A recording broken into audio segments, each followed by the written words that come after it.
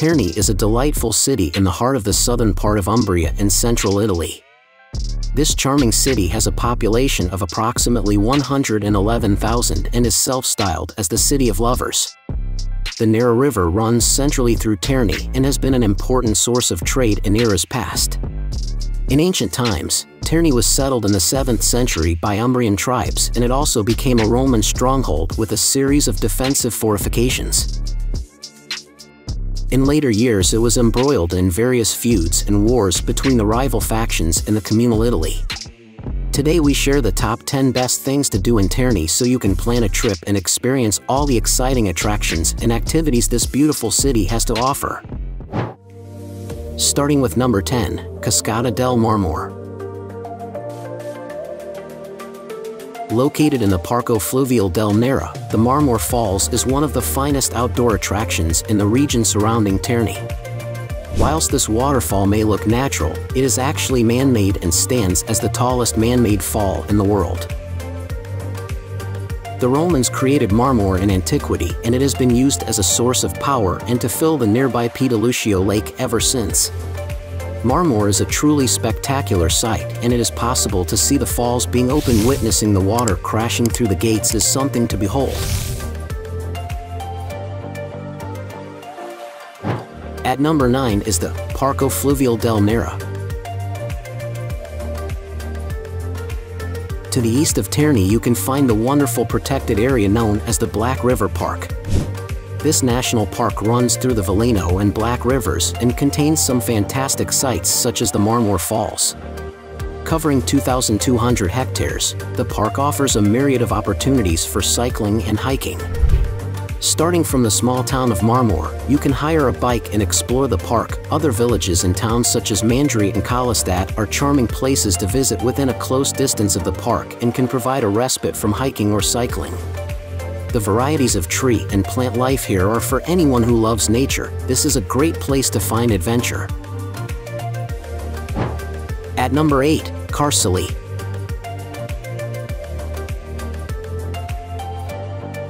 This is actually one of the most well-known and well-preserved ancient archaeological sites in the whole of Italy. Carsulae was an ancient town that was founded around 300 BC by settlers from the Roman Empire. Today, much of the town still remains and several of the important structures are still standing despite their immense age. Notable buildings include the Chiesa di San Damiano, the Basilica, the public baths, the amphitheater, and the theater. You can reach the site of Carsulae in approximately 25 minutes and there are regular bus tours that leave from the city guided tours are also available. At number 7, Roman Amphitheater. Terni has an ancient history and it stands to reason that it has several ancient structures that have been preserved from its Roman era. The is one such structure and can be found next to Terni Cathedral. Much of the original structure remains including sections of the outer walls and a whole section of the tiered oval seating parts of the theater have been restored and made accessible by modern walkways and performances are often held here if you have the chance to watch a performance here. The atmosphere is fantastic. To understand a little of Terni's history, a trip to this ancient structure is unmissable.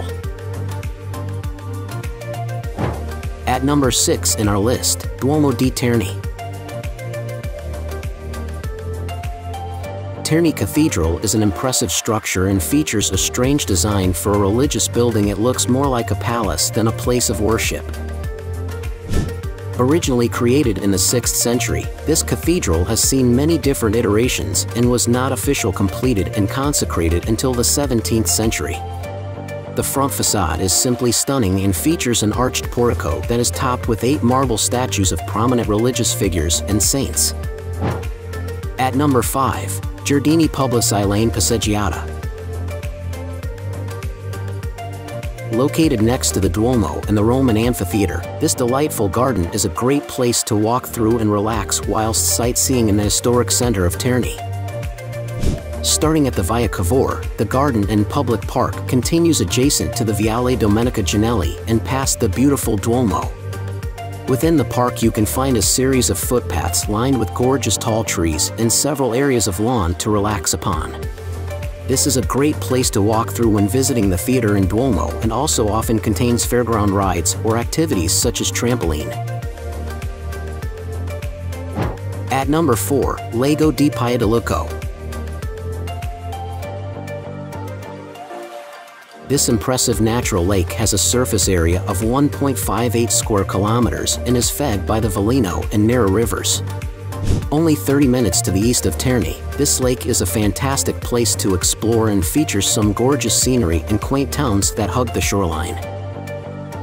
Hiking trails wind around much of the perimeter of the lake and provide great opportunities for hiking whilst walking on these trails you are granted with spectacular views of the lake and forests.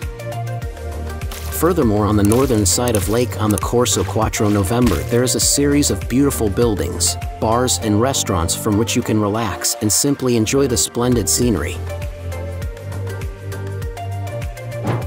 At number 3 in our list, Parco Fluviale del Tevere.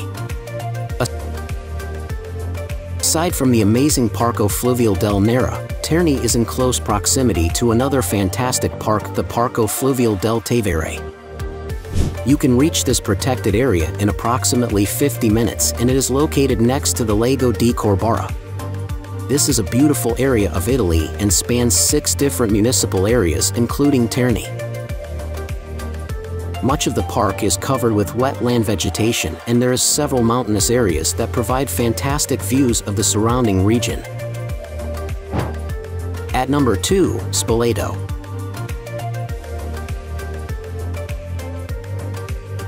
To the north of Terni you can find the beautiful town of Spoleto. This town has direct railway links to Terni and regular trains travel between the two cities. The journey takes approximate 30 minutes.